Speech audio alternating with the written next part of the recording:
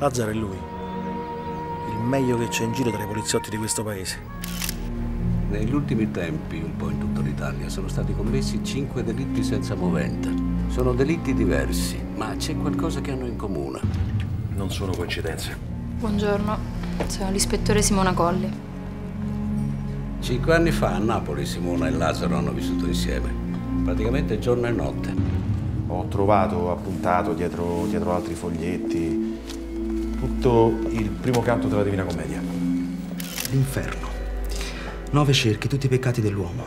Omicidio, lussuria, superbia, violenza contro se stessi, violenza contro Dio, adulazione, usura, ipocrisia, imbroglio.